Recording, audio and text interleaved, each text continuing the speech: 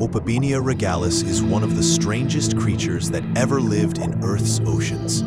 It swam in the waters of the Cambrian period over 500 million years ago, long before fish even existed. What made Opabinia so unusual was its five eyes, each one giving it a wide, almost panoramic view of its surroundings. But the strangest feature of all was its long, flexible proboscis, ending in a claw-like structure. Opabinia used it like a grabber arm to pick up food from the seafloor and bring it directly to its mouth.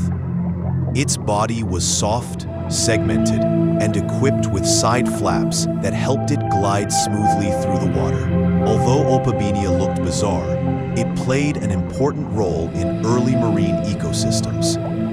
Even today, Opabinia remains a symbol of how alien Earth's ancient life could truly be.